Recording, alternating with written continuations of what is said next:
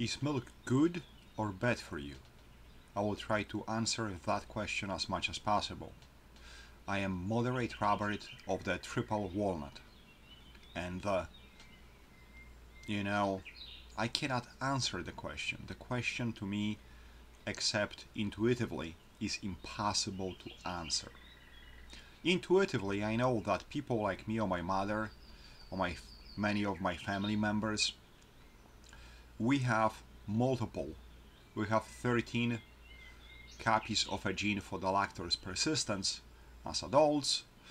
And for example, people are surprised, many people are surprised when I tell them that when my stomach is upset, I do drink milk and my stomach gets better. And they're like, how is it even possible? Because we evolved to drink milk as adults. Majority of human beings on earth didn't. So my bet is that if you disaggregate people properly, then you're gonna get situation where you know people who are like me have at least 10 or more copies of a gene for lactose persistent as adults gonna be reaping pretty much only benefits from drinking milk. People who have 1 to 9 copies of a gene for lactose persistence gonna be for the most part reaping benefits of drinking milk with very few side effects.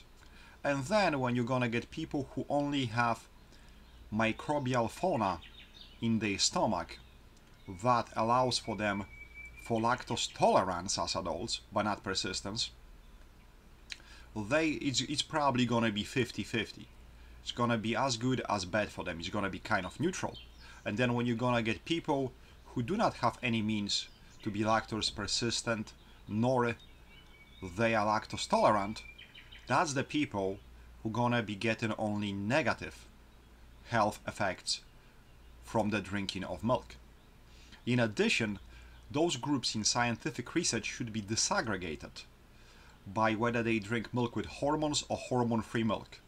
So there should be at least eight groups.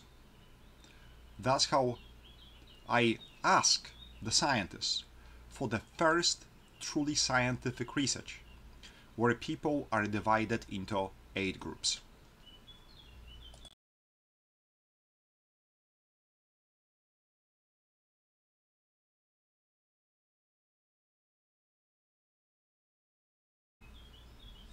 My bet is that research gonna show that, uh, you know, research done in Europe actually was correct. Because European Union says that they get in research where they have polar opposite outcomes when it comes to health effects of drinking of milk. So uh, why? It's very simple. Because people north from the Alpide belt, people north from the mountains, for the major part, are lactose persistent as adults, and people south from and within the Alpide belt, south of the Alpide belt, and within the Alpide belt, within the mountains and south of the main, main ranges of mountains in Europe, don't have the genes for the lactose persistence as adults. So when they do run the tests, the, when they do research in countries like Poland, Lithuania, Belarus, Russia, Sweden, Germany, Norway, you know, it comes out that all those people, you know, benefit health-wise from the drinking of the milk. However, when they run research in places like Italy or Greece, it comes out that the milk is bad for them. So to me it's very simple, it's all about genetics. Some people should simply not drink cow's milk, and some people should drink it because it's good for them. However, you know, nobody has as of yet conducted any truly scientific research when it comes to health effects of drinking of the milk on entire human population. So I'm appealing, I'm appealing to the scientists to do the research, to do the first scientific research about the health effects on milk based on the genetics and based on the fauna within your stomach. And that would be very nice.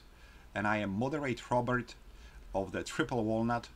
And uh, if you liked it, please click it up and, uh, you know, subscribe.